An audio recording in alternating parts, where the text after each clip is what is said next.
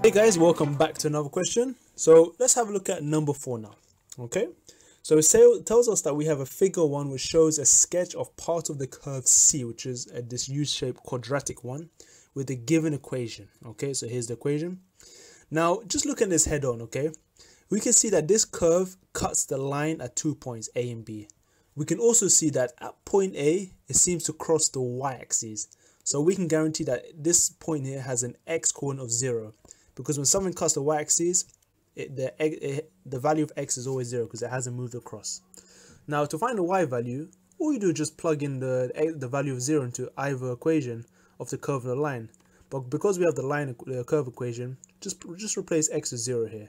So you're going to essentially have on this part here, e to the negative, this case 0, so e to the 0, plus um, 0 minus 3 and e to the 0 is 1 so 1 minus 3 will give us negative 2 so that's the coordinate a okay? And that's going to help us later now carry on the reading. So the curve c crosses the y-axis at point a. The line l is the normal to c keyword. Now if this is the normal this means that at some at some point there was a tangent which was a straight line and the normal will therefore make it perpendicular at this point a. So essentially you can just find the gradient of this normal by firstly um, using dy of dx, differentiating this equation, and, and placing the value of um, x, which is 0, and then taking reciprocal to find the, the perpendicular gradient. So let's have a go. Let's find the equation of, the, of this line in this form, y equals mx plus c. Okay, so first things first, let's find the gradient, yeah? Now, I did it here already.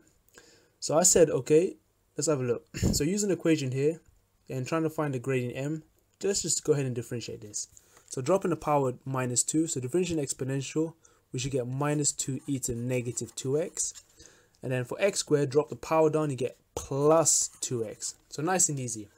And then to find the gradient, well, to find the value of dy dx first, we just do it at point A. And this has an x coordinate of 0. So plug in 0 for x for both of them. You should put this in your calculator, you should get about negative 2. So that's the value of dy dx. Now this would be the gradient if it was a line of a tangent.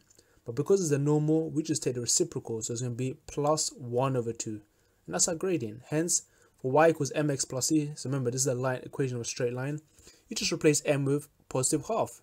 And so far, our equation looks like this. Okay. Now to find c, just plug in any point on that curve or that line, and we got 0 minus 2. So replace x with 0, y minus 2, you should get something like this. Minus 2 equals 0 plus c, and therefore c equals minus 2. And hence our final equation, replacing c with minus 2, we have half x minus 2. And that's it guys, that's the equation of the tangent, of the normal. Now let's look at part B. So the line L meets C again at point B. Okay, so we're, talking about this point here. So again, this is simultaneous equations if you guys haven't seen. Since we got the, the, the line, the, the new line, which is y equals half x minus 2, we're more or less going to solve this simultaneously now. Now, show that the x coordinate of b is a solution of this one. Now all they're doing here really is just rearranging these two equations but they're not technically solving for x because we have x in multiple places. Okay, so let's have a look and just solve this simultaneously. See if we can prove this result. Now part B. So I've already started off like this and this is the objective. Now if you can see carefully, my tip is to work backwards, yeah? Notice how we got a square root. If we squared both sides, the square root will go. So it looks a bit like, let me just cross this out. So we have x squared equals this term. And looking at the equation, I would just go ahead and make x squared a subject for now. So we could plus 3 across and then minus the e term. We're going to have therefore x squared equals half x. Okay, so minus, so adding 3 across, minus 2 becomes plus 1. And subtracting the exponential, we're going to have a negative e to minus 2x. Okay, so at the moment it's the same thing.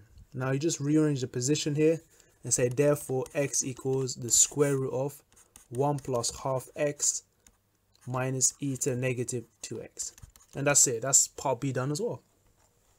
Now for C, let's have a look. So using the iterative formula, so again it's the same thing, replacing x with x n plus 1, whereas the x is inside become xn and um, xn. So using the initial value x1 equals 1, find the next two values. Okay, there's a nice trick here.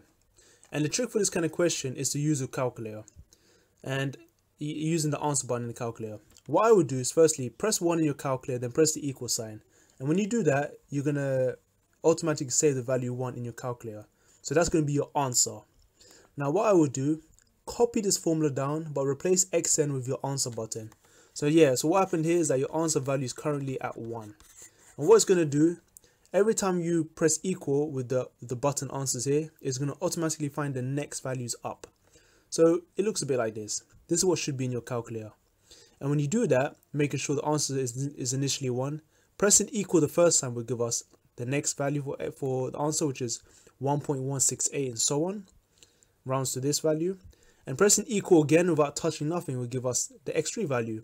And if you keep pressing equal, you're eventually going to get x4 and x5, so on.